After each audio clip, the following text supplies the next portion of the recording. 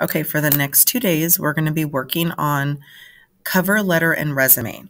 And you might be thinking, hey, I already have a cover letter and resume.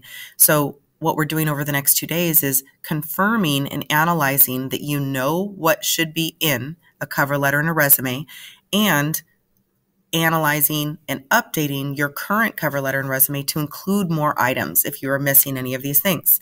So I'm assuming many of you already have one. In fact, you're probably already working. And so we're looking to see can we improve upon the current cover letter and resume that you have. So here's the assignment in the bin.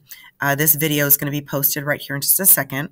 On the first day, we go over some notes, and you're going to complete the notes that are attached right here and then write an updated cover letter and resume on day two. So the first day is really looking at the components, talking about what should go into it, watching a few videos, looking through some notes. Second day is actually writing the cover letter and resume, cover letter and resume, or analyzing yours and updating it. Whether you're doing this assignment, oops, sorry.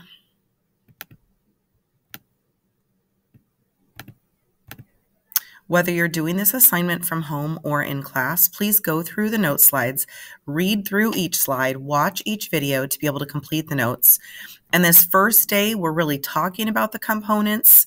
And then this second day, we want you to actually create the cover letter and resume. Feel free to use the attached template if you wanted to start brand new or you don't like yours. And there's also many other templates you can choose from in Google Docs if you want. So just looking at your current one to see if it has all the com components or starting a new one if you prefer. So if you click on the assignment, you'll notice here that there are several attachments.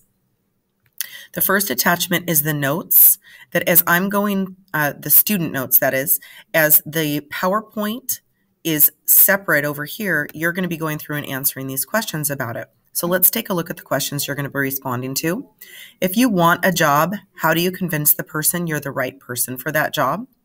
What would you want to do to prepare for a conversation with that person? What would you tell the employer to convince them that you're the person they should hire? In fact, they sometimes ask you straight out, why should I hire you? And you want to be prepared for that question. What other things might you do to further convince the employer? And name other ways you can impress the potential employer. After watching the video in the notes, what challenges might you face when producing a resume? What could you do to overcome these challenges? Take a few notes here on the resume writing tips video. Take a few tips here, takeaways during the cover letter tips video. Here's some fast facts that you include in your cover letter. You're going to list out at least 10.